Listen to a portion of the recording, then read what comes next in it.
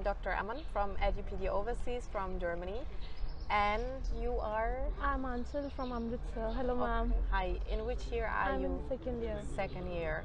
And uh, you came through Dr. Karan? Yeah, I came through KPS, sir. Okay. And um, I have a question. Yes, now you have been here for two years. Yes. And uh, how did you celebrate your first birthday without your family? First birthday, it was great. My friends were there. I made new friends here. Okay. Some were from Africa, some were from Nigeria, mm-hmm. and other countries also, even from India. Mm-hmm. But I enjoyed a lot. So what did you do on your first birthday?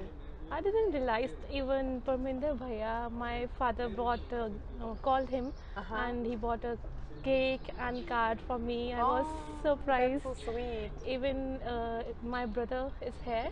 He also came through KPS, sir. Your real brother no, or no, cousin my cousin, brother? cousin. Uh-huh, mhm. And he came, he gave cake.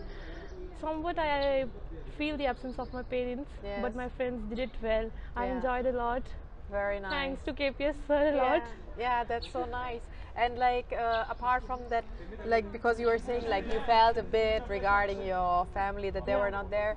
Uh, you know, I also studied in this university, and Okay. uh, I think I, I felt homesick until I was in sixth year. I was even Yeah. sometimes homesick, even in sixth year, even as a senior. Do you know this feeling? And if you have it, what do you do against it? we only find here here only the presence of our friends can make us somewhat away from our parents that we don't feel their absence. But still i'm in second year. Somewhere i feel that only the absence of my parents is here. Other the rest of the things are great.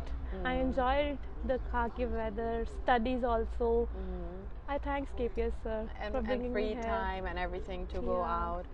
So I think at this time it's also good because you have WhatsApp, you have Facebook, Yeah. you can call your parents. Yeah. At my time, we just had in hostel number five downstairs there was a cafeteria, and you could call, and there was no WhatsApp, there was no It was so difficult Facebook. yeah, it's not that long ago. I just finished three years ago, but you know it's uh, fast, rapid, rapid changes. yeah but now we have great facilities All right. We can call if even our call, phone call, phones are not working. We can call, go to office, and I'm also staying in hostel number 5 Mm-hmm. We can go in office, tell to sir, KP sir, or Parminder Bhaiya Yeah. that we want to call.